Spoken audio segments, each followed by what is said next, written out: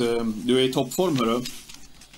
Ja, vi satte i alla fall varningen här med, med den gode Close to a million. Den såg jättefin ut faktiskt. Så den följde upp senaste veckans insats på ett mycket bra sätt. Mm. Det var din luring och du hade även eh, SKs Ariel som, som spika.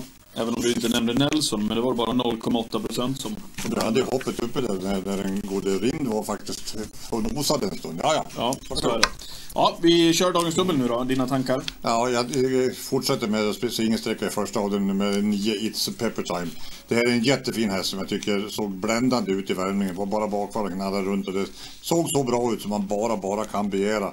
Jag tror det blir svårslagen här trots bakspåret och jag nöjer mig med ett streck i första avdelningen. Mm. Dagens dubbel 2, desto svårare det här storloppet hörru. Ja, det är desto svårare och, och jag, jag, blir inte förvånad om det blir en dubbel i Orma Kontio för nummer 10 Go Pepper Girl, det är också en häst som har bra eh, kunnande och, och har mött ett tuffare gäng än det här tidigare. Jag tycker absolut att det Ja, det, det, är på sin plats så. Se upp med den här i varje fall. Mm. En dubbel Melko, dubbel Kontio. Ja. Det, dubbel Pepper.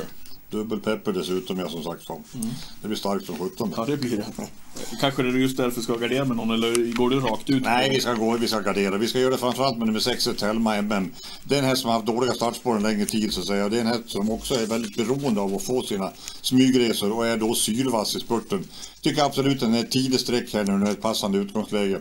Nummer 5, Favorite Picture, är också en häst som eh, har haft en svacka, tillbaka igen och uppåt igen och eh, kan få drömläget ledningen här och då är, eh, brukar hon sälja sig dyrt. Ska i varje fall med på kupongen, liksom nummer 1, Tulibardin Bow som har ett passande läge och också har stigande formkurva.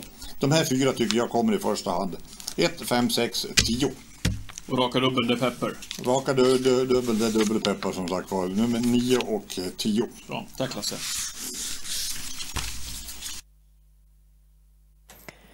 Då kan vi ta spelsiffror upp. 7 från ATG. Vinnodset på nummer 1 SKs Ariel. 2,38 plats 1,41. Tvåan nummer 3 Wallestorm 3,62 och trean nummer 9 Bäcklös Uriel 3,65.